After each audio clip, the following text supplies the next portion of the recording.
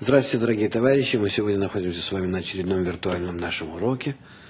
Э, рядом со мной, как обычно, мой ученик и помощник Саша Козлов. Он будет принимать ваши пожелания, вопросы, замечания. И мы постараемся их тоже принять во внимание в течение этого урока. Мы с вами продолжаем разговаривать по беседу по статье «Мир» Баля Сулама. И находимся э, в части, которая называется «Контрасты и противоречия управления». Э, мы находимся с вами внутри какой-то сферы, которую называем природой, космосом. Неважно, как назвать, но мы находимся внутри чего-то, какой-то сферы вот такой, непонятной. Правда, мы себе представляем вдруг почему-то себя как бы вне ее, вне природы, можем делать все, что нам заблагорассудится, но в итоге мы видим, что мы какие-то не очень особые удачливые существа. И поэтому стоит нам присмотреться к тому месту, где мы находимся, и как мы в нем себя ведем. А вось мы все-таки сможем улучшить свое существование. Вот об этом и говорится в статье «Мир». Э, в принципе, мир э, на русском языке имеет э, два понятия. Мир – это как э, все существующее, и мир – это как состояние э, не война – Э, в э, Кабале под миром подразумевается шалом. Шалом – это не война, мир, перемирие, это может быть дружба, это может быть вплоть до любви, потому что слово мир, шалом, оно происходит от слова шлемут. Шлемут – это совершенство. Это взаимное дополнение друг друга. Вот когда находятся две части в состоянии взаимном друг друга дополнении, то их такое соединение называется шалом, шлемут. То есть это очень высокое и непростое соединение между противоположностями. Так вот, как привести э, все части мира к состоянию э, совершенства, об этом и говорит эта статья. И Валя Салам хочет нам показать, что, в принципе, привести это возможно только человеку, если он будет изучать окружающего мира, себя, и увидит чисто опытным путем, что же все-таки происходит с ним и с миром, и как можно достичь совершенства взаимного дополнения, взаимного э, единения – всех самых противоположных частей э, природы. Так вот, он говорит, что наблюдая окружающую нас действительность, мы находим в ней две противоположности.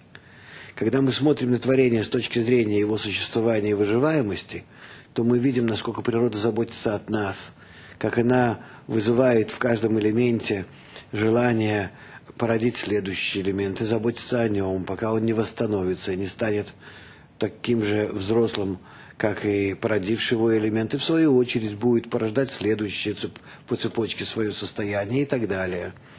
Мы видим, как на любом уровне, на э, растительном, на животном и на человеческом, то есть кроме неживого, который не развивается практически, что на всех этих уровнях мы видим э, огромную заботу, которую природа вкладывает э, как в процесс э, размножения и продолжения жизни, так и вызывает особое отношение э, любви, заботы, э, инстинктивной э, в объекте, который порождает следующий объект, и э, который жертвует даже собой для становления следующего своего так сказать, потомства. И дает им это нам э, Балясулам на природе человека, на примере человека, потому что человек, в принципе, это самое развитое из наблюдаемых нами существ. И вот в нем мы и видим особый контраст э, управления двумя силами. Одна сила, которая вызывает в нас желание любить, развивать, э, рожать, э, ухаживать за нашими детьми и э, пестовать их буквально, насколько это возможно. А с другой стороны, когда этот э, человечек маленький вырастает и получает от нас э, все, что только можно, он попадает в огромный жестокий мир, где все его пытаются э, как-то использовать э, ради себя, и вплоть до убийства, буквально э, отношение друг к другу у людей варварское, дикое. Почему же так мы относимся э, к становлению человека в нашем мире? Э, природа вызывает у нас такие особые свойства. И наоборот, вызывает в нас совершенно другие свойства, когда мы взрослые относимся друг к другу. В чем же дело? Почему она не могла бы сделать так, чтобы мы все относились друг к другу как родители к детям. Что бы нам мешало? Разве было бы плохо? Почему создано такое управление природы в противоречии, в явном таком противоположном существовании их между собой? И это противоречие, пишет Балишулам, заметное любому образованному и чувствующему человеку, занимает человечество еще с древних времен. И выдвинуты многочисленные теории, которые оправдывают это противоречие и управление природой – существующее в одном мире. То есть э, мы находимся в сосуществовании двух противоположных антагонистических сил. И э, с одной стороны это любви, а с другой стороны это ненависти. И эти силы, они стерегут друг друга, пытаются уничтожить друг друга и в то же время дополняют друг друга. Вот как нам понять природу, которая таким образом создало в нас эти две противоположные силы. Что же здесь происходит на самом деле? Практически именно благодаря тому, что мы наблюдаем столь противоречивое управление нами, как двумя вожжами, правой, левой, доброй, злой силой, когда в становлении нашем в мире участвует практически только добрая сила, защищающая нас. Самая большая защита у человека – это когда он находится еще э, в чреве матери – а, а затем э, э, э, постепенно-постепенно отрывается от нее, сначала рождается, так он тоже находится рядом с ней, и затем все больше и больше удаляется, и по мере того, как удаляется, уже попадает под совсем другое, более грозное отрицательное управление, и требует с него все больше и больше с каждым годом, а затем в школе еще большие требования. Ну а затем, уже когда он стал взрослым, так вообще весь мир наваливается на него, и он обязан, обязан, обязан всем. Вот это вот непонятное э, отношение природы к человеку, оно породило несколько теорий. Кто же нами управляет? Первая теория – это природа, так называемая, которая говорит о том, что нами управляет просто бесчувственная природа. Вот так вот мы развились, был какой-то там э, большой взрыв – Big Bang мы из него выросли, так сказать, материя появилась. Сначала проявилась информация, затем энергия, затем материя.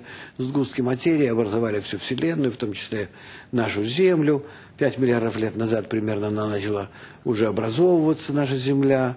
И были периоды остывания, нагревания, пока не охладилась она полностью настолько, что стала пригодна за, для зарождения органической жизни.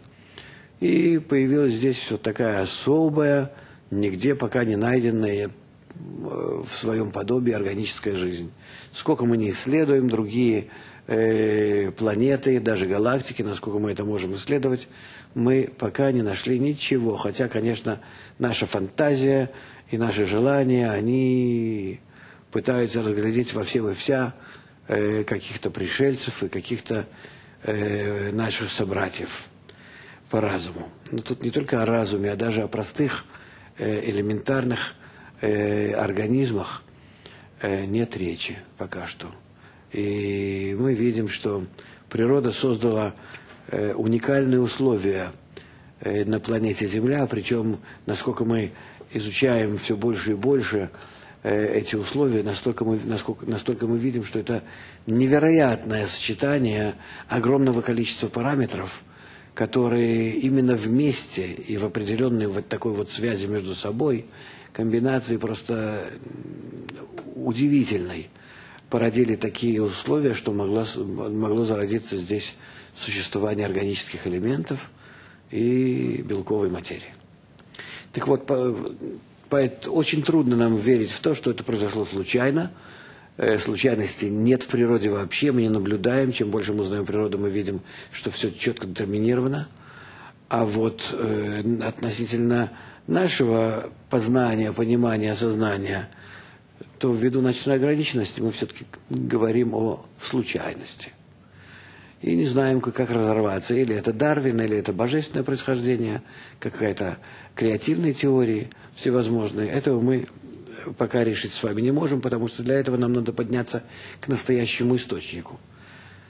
А пока что мы можем оперировать только тем, что нам дано в наших ощущениях. Так вот, первая теория – это природа, когда мы говорим о том, что нет, нет ни чувства, ни разума, а вот так все произошло. Имеем ли мы право так говорить? В принципе, имеем. Почему? Потому что мы наблюдаем только то, что можем наблюдать. И только из того, что мы сегодня видим, исходя из этого, мы можем строить нашу теорию.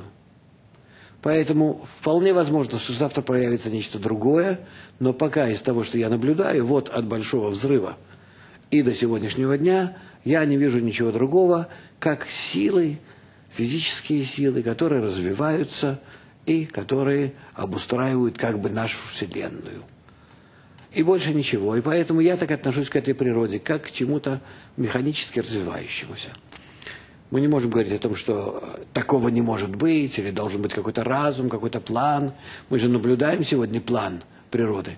Да, мы его наблюдаем, но все равно до тех пор, пока я не раскрыл, что существует нечто более высшее, чем наблюдаемое мной, я принимаю во внимание только то, что я наблюдаю. Нет большего судьи, чем видит его глаза, как говорит древняя мудрость. Так вот, поэтому это первая теория, она действительно первая. Это неживая природа. Неживая имеется в виду неодушевленная, имеется в виду не божественная, которая развивается, потому что она так развивается. Все. Эм, но э, этого подхода к жизни недостаточно. Почему? Э, потому что все-таки мы видим, что управление нами, оно осуществляется с великой мудростью. И существует огромная-огромная э, мудрость э, в каждой клетке, в каждом э, существе, в каждом произведении природы. Э, и мы поэтому все-таки идем обратно от настоящего и говорим, что если природа создает разум, э, природа создает такую динамику потрясающую в развитии своих элементов, значит в ней самой это есть. Не может быть, чтобы это развилось без, без какого-то предварительного плана, э, каких-то э, примеров, деталей, внутренних может быть, энергетических, информационных, невидимых нам, но такие основы должны быть заранее заложены. И поэтому э, начинаем мы говорить о том, что существует какой-то извечный, предварительный порядок существования, какой-то план, какая-то мудрость, которая затем притворяется в нашем мире. То есть высшая сила, высшая воля. Э, и э, на сегодняшний день, хотя мы ее не наблюдаем, но мы все равно видим ее следствие. И поэтому, идя от обратного по индукции, мы уже можем говорить о наличии в природе того, что мы видим в нас. То есть не может быть в нашем мире, как в мире действия, выполнения э, того, чего нет в природе в виде замысла и программы. Это вторая теория, которая все-таки э, предоставляет природе право на э, разум, на программу, на, на замысел и на конечную цель. А мы являемся уже внутри этой программы исполнителями, и мы видим, что действительно от нас ничего не зависит. Существует какой-то э, рок, не, или это потому что неизвестно нам, или какая-то программа, по которой мы идем вперед и выполняем ее безукоризненно. Можно предсказывать, если у кого-то есть эта возможность, даже э, о будущем. И мы знаем, что такие э, случаются э, в нашем мире э, случаи предсказания будущего. И действительно имеют место и выполняются – то есть все это каким-то образом где-то заложено выше времени и выше того, что существует и проходит по нам. И от нас это каким-то образом скрыто. Но этой теории, которая говорит о двух силах, доброй, злой, замысле природы – ее э, совершенстве, ее программе, плане, этого недостаточно. Э, недостаточно теории двоевластия, когда существует плохая и, и добрая сила, и они противодействуют между собой. Когда мы наблюдаем природу, мы видим огромное количество различных сил, э, находящихся в постоянной борьбе друг с другом, на разных уровнях, разного качества – неживой, растительный, животный и человеческий потенциал в природе присутствует. Если это так, значит существует множество источников всевозможных сил управления, которые на разных уровнях, в разных комбинациях воздействуют на нас. Если так, то как бы существует множество богов, сонмы богов. Мы знаем, что еще в древности, особенно в Древней Греции, это все было очень популярно – Тогда был расцвет этих теорий э, в колыбели философии. И э, из этого сонма божеств, то есть сил природы, неважно как называть, э, кто к чему больше склоняется, в принципе, это не имеет значения, тоже появляется очень много всевозможных теорий. Эм, и тут уже возникает, э, когда возникает уже отношение к этим силам природы, как к силам, имеющим свою волю, свой план, то, естественно, человек уже начинает развивать к ним какие-то свои особые отношения. То есть, а могу ли я воздействовать на эту силу, если в ней существует план, разум, если она, ну, как минимум, имеет те же свойства, что и я, и намного выше. Если она создала меня, то, очевидно, в ней эти свойства заложены. Не, могут, не может быть у, у, у, как сказать, у отдающего должен, должно быть то, что он отдает. То есть, если меня создает кто-то, то в нем все, что есть во мне, существует в каком-то виде.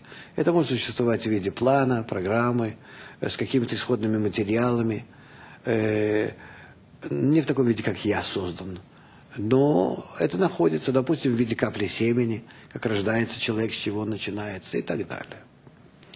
То есть э, э, человек начинает уже обращаться тогда к природе, и вот здесь возникают уже зачатки религий, верований, поклонений, задабриваний этих сил.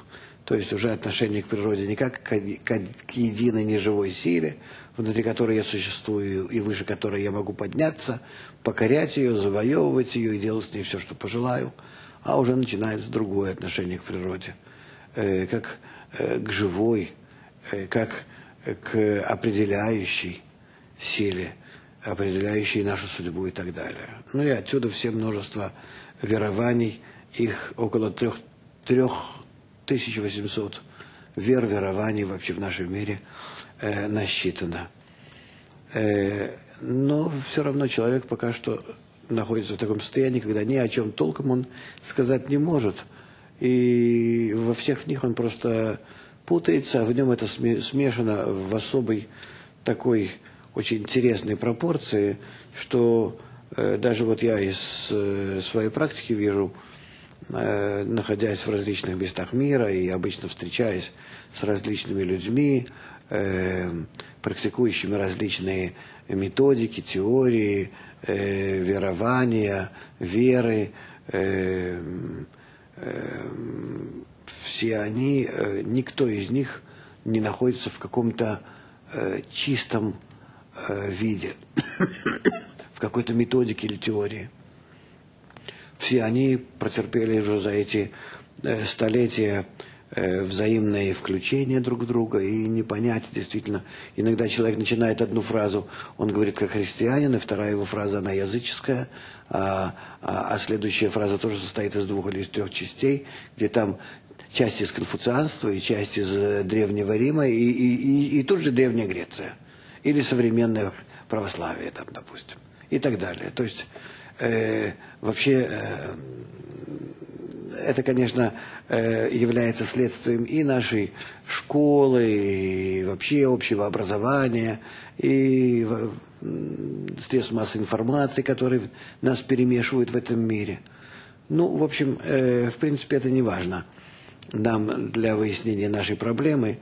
Э, есть еще только одна теория, очень интересная, которая говорит о том, что да, существует Творец, э, высшая сила природы со своей программой, планом, э, управлением, системой управления нами. И он нами управлял, и мы развивались, и развивались, очевидно, правильно когда-то. А потом он увидел, что мы вообще неправильные, все злые. Вот и в Библии даже описывается в, в рассказе о потопе, что увидел Творец, что, творец, что человек злой, неисправный, и решил он погубить всех, э, потопить и так далее. То есть есть на эту, э, для этой теории тоже какие-то свои основания. И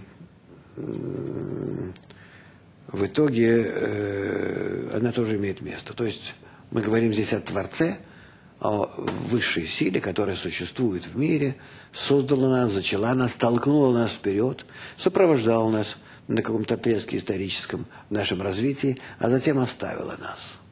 Отошла в сторону, а мы поехали вперед дальше, управляемые уже только лишь своим эгоизмом, своими нехорошими э, в общем-то, основами, свойствами. И поэтому мы на сегодняшний день э, находимся в подвешенном состоянии. Делай, что хочешь. А там уж куда жизнь приведет. Но с другой стороны, э, это все-таки не так. Потому что по мере того, как мы раскрываем, с, э, с одной стороны, психологию материалистическую, материалистическую, то есть исходящую из практического опыта, Э, а с другой стороны, все остальные естественные науки, мы все больше и больше убеждаемся, что в мире все-таки царят абсолютные законы. Мы их не знаем полностью, мы знаем частично и не все. То есть и по количеству, и по качеству нам еще остается очень много узнать, и неизвестно, узнаем ли мы их все, потому что мы ограничены в своем постижении нашими пяти органами чувств. Но все-таки несмотря на то, что то, что мы изучаем в природе, мы можем привести к одному единственному выводу. Все абсолютно, абсолютно связано, все действует по одной единой программе, все э, происходит по четким законам логическим, причинно-следственным, и если мы наблюдаем какие-то неисправности, то в итоге это возможно от того, что мы сами неисправны, и поэтому мы не видим всей, всего замкнутого этого цикла природы э, в таком виде, чтобы иметь возможность ее полностью познать и оправдать. То есть мы должны здесь внести поправку на погрешность нашего наблюдения. Кто наблюдает? Ограниченный э, маленький эгоистический человечек – который через свой эгоизм, просеивая приходящую информацию, не может ее правильно в себе проанализировать, собрать, синтезировать и привести к какому-то правильному результату. И э, поэтому э, мы должны, если мы желаем, а мы желаем таки понять на самом деле, где мы находимся и что с нами, то мы должны продолжать исследовать природу. Только э, исходя не из каких-то религий, верований, э, условностей, но э, относясь к ней абсолютно четко, логически, здраво. И когда мы таким образом начинаем ее исследовать, э, то мы, э, в принципе, давайте зайдем с другой стороны. Не со стороны, кто такая природа и что такая природа. Здесь мы очень ограничены в наших органах чувств, в наших возможностях. Мы не представляем себе, чтобы, как бы чувствовали мы природу, если бы мы были с другими свойствами, и нам никогда этого не понять и не узнать. Давайте мы будем исследовать ее в рамках тех условий, в которых мы существуем. Не мудрствуя лукаво. Что требует от нас природа? Давайте сначала вот так подойдем к этому вопросу. Э, мы видим, что природа требует от человека, может быть, когда мы начнем отвечать на ее вызов, то мы сможем узнать на самом деле э, из этого вызова, э, что нам надо дополнить. И, может быть, наше дополнение к природе, к тому, что она от нас желала бы, приведет нас к пониманию цельной ее картины. И из этой цельной картины мы сделаем уже тогда все остальные выводы. То есть давайте смотреть не с точки зрения, ну что там у нее, а смотреть так, и якобы мне не надо ничего делать, я в полном порядке, я только должен изучать природу для того, чтобы изъять из нее как можно больше для себя э, якобы полезных, нужных мне э, свойств, законов, элементов и так далее. Может быть, я буду по-другому смотреть. Может быть, я начну с того, что природа, она вечна и совершенна.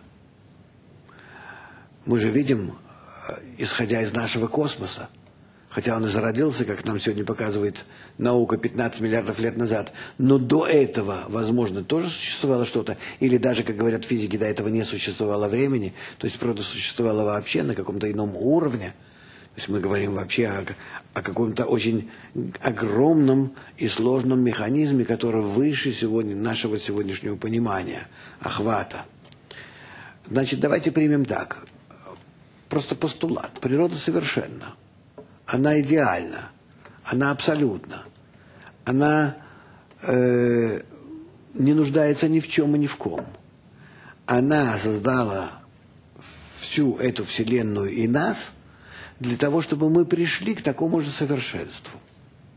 То есть мы не будем смотреть, что я ищу в природе чего-то там и пытаюсь ее узнать и отношусь к ней как к чему-то несовершенному, несовершенному, и я ее буду дополнять своими действиями.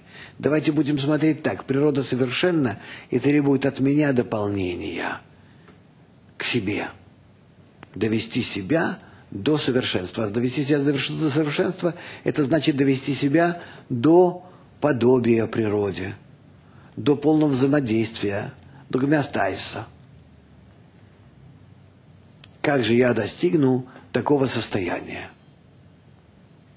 Для этого нам надо изучить себя и прислушаться к тому, что природа требует. И мы увидим, что природа, в принципе, э, предлагает нам в тех условиях, в которые она нас ставит, достичь совершенства. Каким образом? В первую очередь она нас ставит в огромную проблему с э, нашим окружением – с человечеством. Мы находимся относительно человечества, в каждый из нас в противостоянии. Я не люблю, ненавижу, удаляюсь, развожусь, э, использую других ради себя. Мне ничего не интересно в мире, кроме как подавить этот мир, поставить его под себя, сделать его в каждую минуту как-то управляемым мной – это наша природа. Разве в таком состоянии я могу достичь совершенства и слияния с ней? Быть ее интегральной частью? Нет. Значит, к совершенству я могу прийти только если я себя изменю в подобие ей. И когда я начинаю такого вида э, исследования над собой проводить, я вижу, что природа заранее создала нас взаимозависимыми друг от друга. Мы не можем э, никуда отдалиться друг от друга. Человек, отдаляющийся от общества, обречает себя, а, а, обречает себя на, на муки, на проблемы, если вообще в состоянии выжить. Э, а э, Творец так или природа специально нас создали такими, чтобы мы э, дополнили себя, добавили себя, не удаляясь от общества, а именно приблизив себя к нему до абсолютно полного взаимодействия с ним. А если я нарушаю в таком случае законы правильного общежития, то я таким образом нарушаю законы природы. А если я постигаю законы правильного общежития, включения в социум, вообще в человечество – Э, то э, вот это мое э, правильное цивилизационное включение в, в, во все человечество, оно дает мне огромные какие-то новые знания, каким образом это надо сделать, что надо в себе изменить, чем я могу дополнить себя до пол, полного совершенства, подобного природе. И таким образом я начинаю изучать всю природу, начинаю ощущать и понимать ее всю, ее замысел на себе, ее волю, ее начало и конец.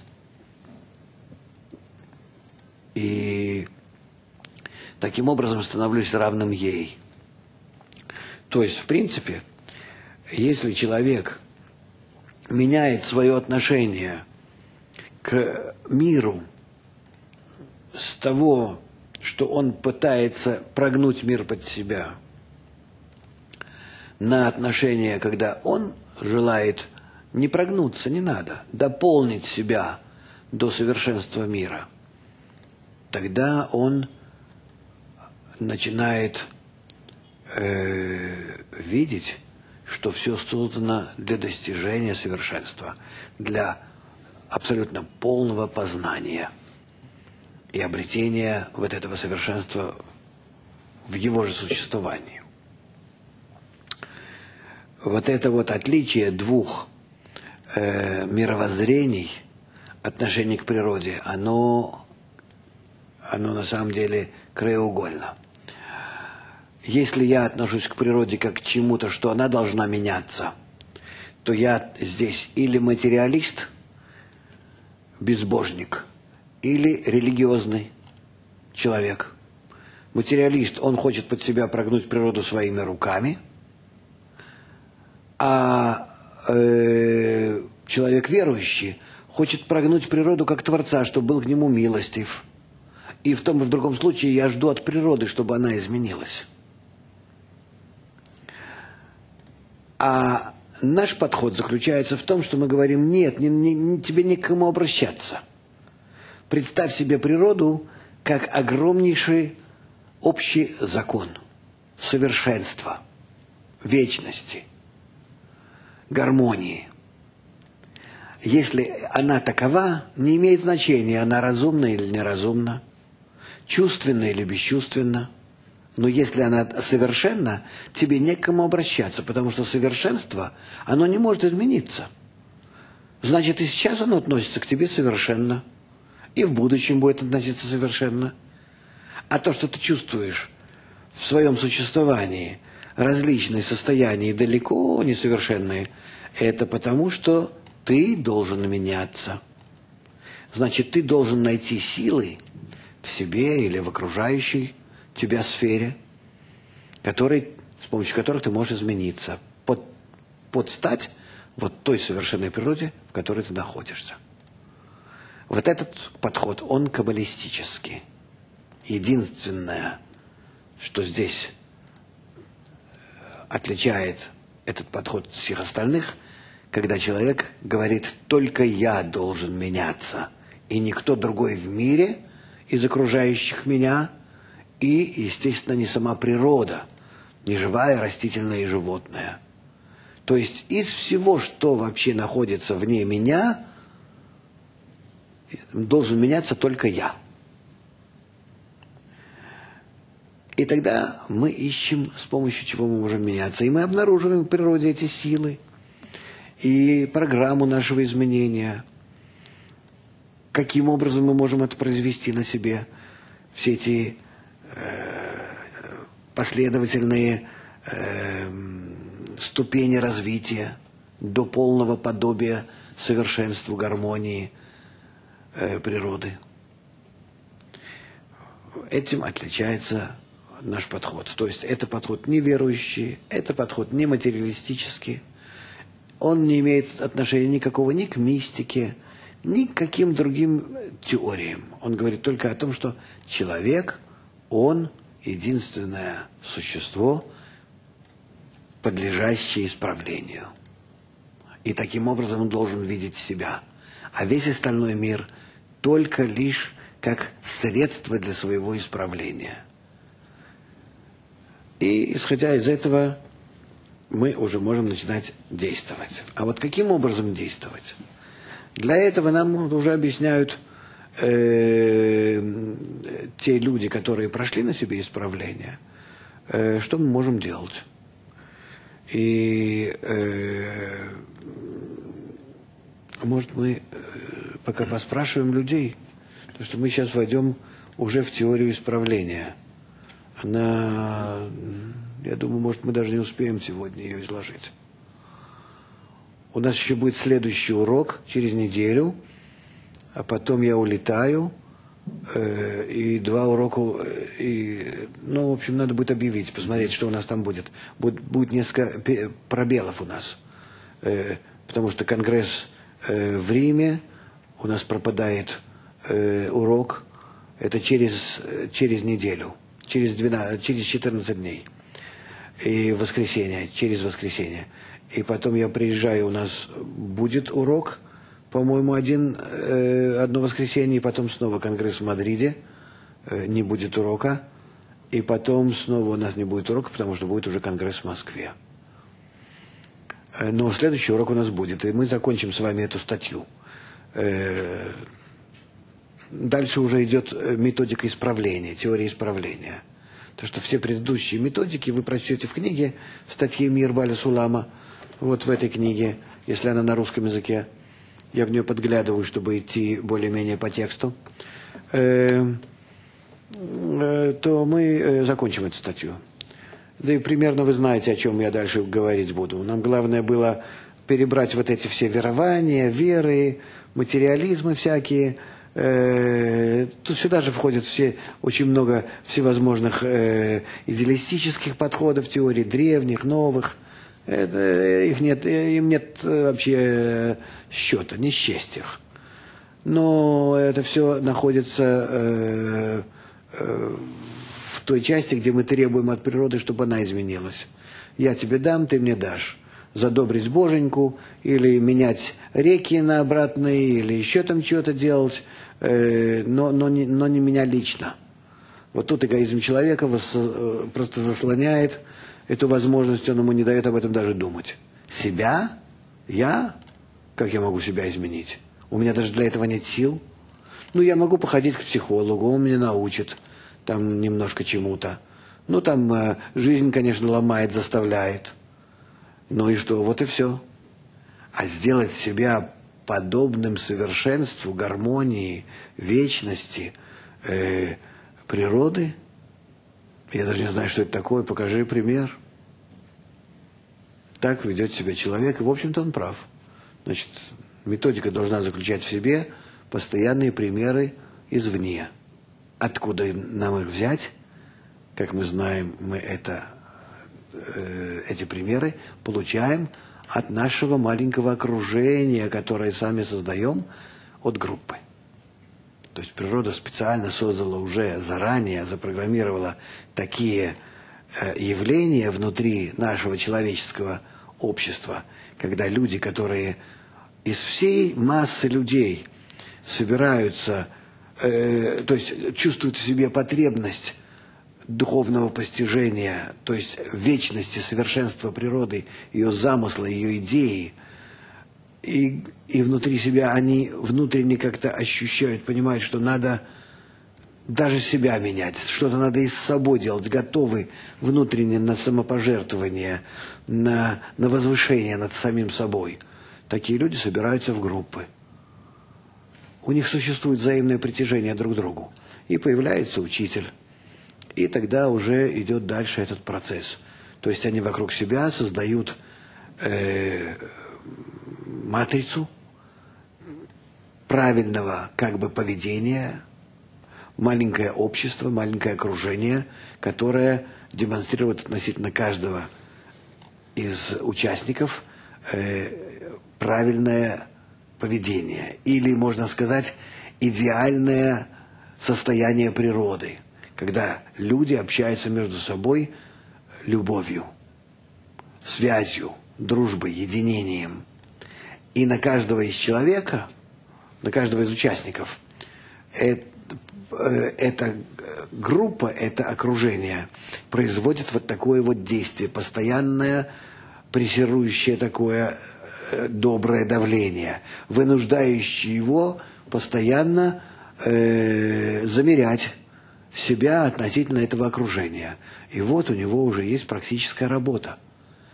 Постоянно меняя окружение, сознательно вместе с остальными своими товарищами по группе, поднимая его и больше, и больше, и больше, он таким образом вызывает на себя правильное воздействие, которое вынуждает его также подняться больше, выше, выше, выше. И таким образом растет. То есть как бы вытаскивает сам себя за волосы из этого эгоистического болота. Сам себя имеется в виду воздействие на окружение, через окружение вытаскивает себя. И вот таким образом мы видим, что природа практически предусмотрела это действие. И тот же библейский закон «возлюби ближнего как себя», и все, что нам дано в этом мире, достаточно для того, чтобы прийти к полнейшему совершенству гармонии. Это все в наших руках. Так что мир мы, мира мы можем достичь, совершенства. Но мы об этом еще будем говорить дальше. Давай попробуем. Я немножко все-таки э, скакнул вперед. Да. Очень много вопросов. Вот Ирина из Тбилиси спрашивает вас.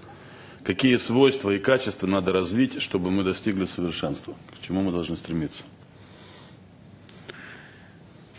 Только лишь поднимать важность окружения, то, что говорит нам Рабаш в своих статьях.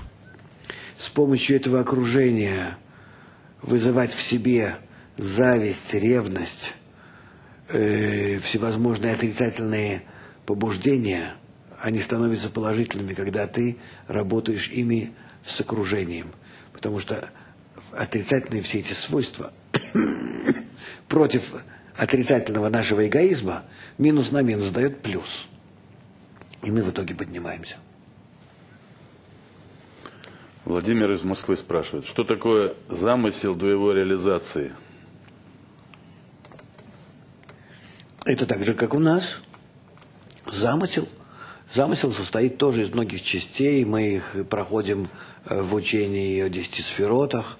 Это четыре стадии прямого света, где свойства Творца и зачаток творения находятся вместе, и творение попадает первый раз под развитие Творца под Творцом называется добрая, основополагающая сила природы, которая просто сила совершенства, сила э, доброго влияния, сила любви, э, благодаря которой существует вся материя, сила притяжения, размножения, э, сила, которая развивает. И одновременно с этим – должна быть деструктивная сила, разрушающая, э, которая э, противодействует ей, потому как невозможно никакое строительство, соединение между различными элементами, блоками э, природы, если не разрушать в них то, что им мешает. Поэтому должна быть сила разрушающая те э, мешающие построению свойства, и сила развивающая те свойства, с которыми затем создаются новые блоки. И мы наблюдаем это в природе, иначе жизни нет. Она, она возможна только на правильном соединении двух противоположных свойств сил. Так вот, и мы в своем движении вперед используем эгоизм, э, в отличие от всяких других верований, религий, методик. И именно благодаря ему мы все время строим себя. То есть мы привлекаем положительную силу природы и отрицательную силу своего эгоизма, и с помощью их обоих мы постоянно себя строим, э, обрубая у себя всевозможные неправильные, нехорошие, вредные э, свойства и э, оставляя только те, с помощью которых я могу соединяться с другими, я таким образом соединяюсь. Соединился, а на следующем этапе я вызываю эти отрицательные свойства, которые не мог использовать, которые я отрубил, обрубил, убрал от, от себя, и уже могу их использовать и так далее. То есть я все время э, частично э, э, как бы сортирую в себе, анализирую все свои внутренние параметры, те, которые пригодны для того, чтобы я сейчас вырос немножко вперед, я их э, культивирую, а те, которые, которыми я пользоваться не могу, я их временно от себя отсекаю и таким образом расту. И на, каждом, на каждой ступени, естественно, мой анализ все более и более точный, глубокий. Э, так я продвигаюсь вперед, количественно и качественно. До тех пор, пока я полностью не, э, не готов применить весь свой эгоизм, всю свою природу для связи, для слияния со всем мирозданием. Таким образом, я, означает, привел себя к полному исправлению. А то, то, о чем мы говорили, что я лично должен только лишь измениться, а природа остается той же. И таким образом получается, что группа, в которой я при этом расту, она сливается со мной вместе в одно единое целое. И она и я сливаемся вместе с природой в одно единое целое, в полной гармонии. И достигаем мироощущения, миропознания э, вечного и совершенного. И это является нашим существованием на уровне человека потому что до постижения этих уровней мы практически э, существуем как животные. Так можно, можно ли при этом сказать тогда, что я стремлюсь, любой человек стремится в духовном развитии, не стать хорошим, не какие-то хорошие свойства приобрести, а именно в развитии, э, в комплексном таком развитии, то есть развить в себе все свойства? Хорошие свойства или плохие, это вообще э, очень условно Э, условное деление. Если я могу с этими плохими своими свойствами э, притянуться к, э, и, и включиться в, в коллектив, в сообщество, в человечество, в цивилизацию, то, то, то, то значит это хорошо. И когда я иду на соединение, на контакт, то нет ничего плохого. Тут и плохое, и хорошее, они практически равноценны, потому как не может быть одно без другого. Контакт, он идет по двум параллельным э, каналам. Правой, левой линии, допустим. Положительной и отрицательной силе. Я не могу работать только с положительной или только с отрицательной, потому что я подключаюсь ко всем остальным, я являюсь теперь уже вместе с ними какой-то их интегральной частью, через которую проходит вся эта энергия, информация, а, Э, это все проходит только в том случае, если у меня есть и положительная, и отрицательная силы. Но при этом к отрицательной силе я не стремлюсь, она сама раскрывается. То есть нет такого, что я хочу как бы и положительные силы раскрыть, и отрицательные силы. Я, я, я, я обязан раскрывать отрицательные силы, потому что без них я не смогу работать с положительными силами. Это, ну, это как, когда любая батарейка состоит из плюса-минуса. Любая система она состоит из входа-выхода, иначе вещь в себе, она мертвая. Любой, любой атом, любой, все состоит, любое движение, оно может быть только от, от одной силы к другой, при воздействии двух сил. Нет вообще в природе такого элемента, в котором была бы только одна сила. Он, э, э, он не существует. Такого невозможно ни мысли, ни, ни желания, ни, ни, ни, ни, материи в любых ее видах. Все состоит сразу же из двух сил. Мы это изучаем из учения о десяти сферотах, что как только возникла вот это, этот, этот замысел, то сразу же в этом замысле уже существовало будущее творение. А иначе замысла даже не могло возникнуть. Э, здесь, конечно, существует проблема с объяснением немножко, э, э, как это все могло произойти, но мы говорим о том, что творение возникает вместе с замыслом о нем. Не может быть одно без другого. Это все равно, что вопрос, что было раньше, яйцо или курица. Здесь просто смущает то, что э, также в Кабале говорится о том, что человек начинает ненавидеть свой эгоизм. Он с ним как бы знакомится, и как бы к нему так относятся уже. Это как... только поначалу, когда он ненавидит себя, а только еще несмышленный э, начинающий ученик э, ненавидит свой эгоизм и ненавидит, то есть желал бы от него избавиться. Это на первом этапе так.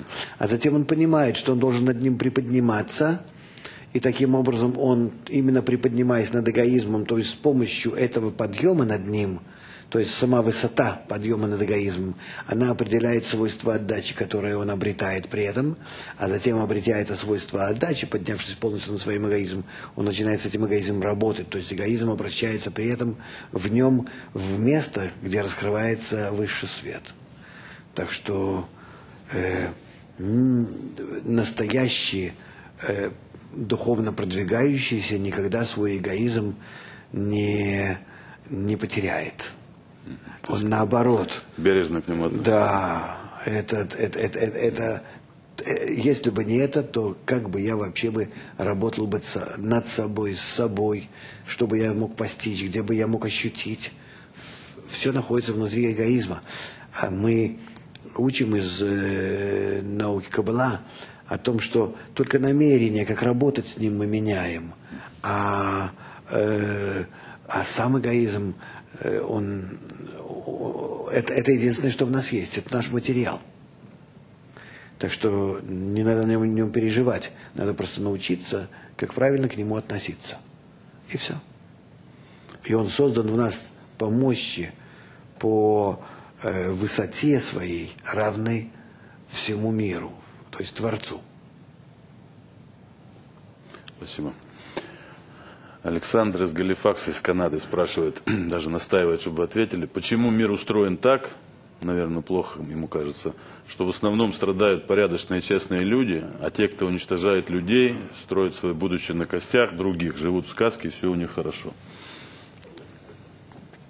Вам так кажется, потому что э, те люди, которые находятся как бы внизу по вашей э, иерархической лестнице – они бедные, э, страдают, у них ничего нет, э, э, унижены. А вот люди, которые находятся наверху пирамиды, они да, наслаждаются жизнью, у них все полно, всего полно, они радостны, счастливы. Э, эксплуатируют других, этих несчастных, бедных и так далее. Почему так все устроено? Потому что эти люди, которые находятся наверху, они очень большие эгоисты, поэтому они достигли верха.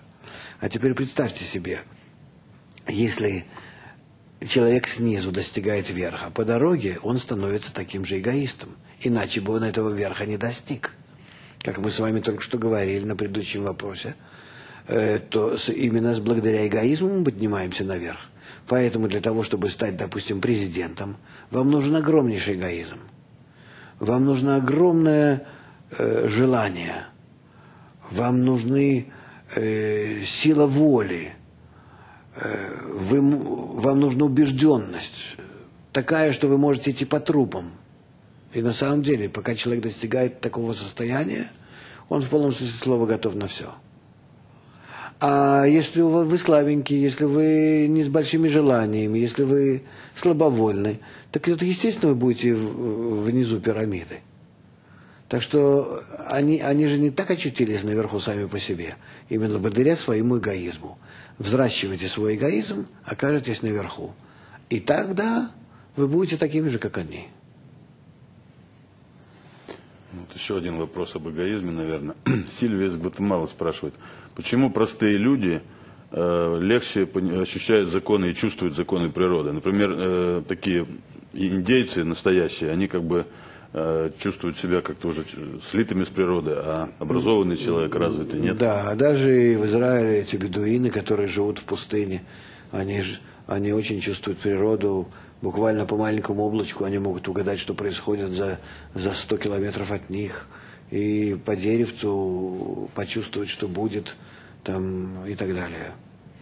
Э, это просто общность природы. Мы тоже владели когда-то этими свойствами, но постепенно цивилизация, она нас огрубила и выбила эту возможность из нас.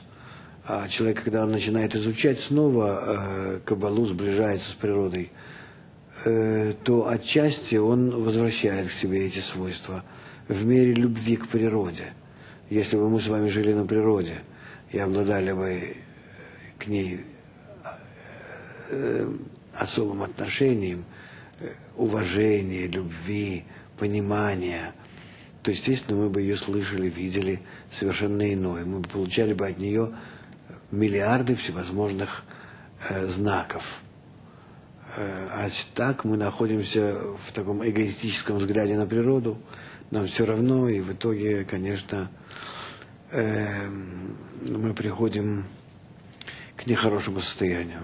Видите, происходит какой-нибудь цунами или взрыв землетрясения, э, вулкан, ни одно из животных не погибает. Они все за, за неделю до этого, за три дня до этого минимум, они убегают с этих мест а человек не понимает, что с ним произойдет.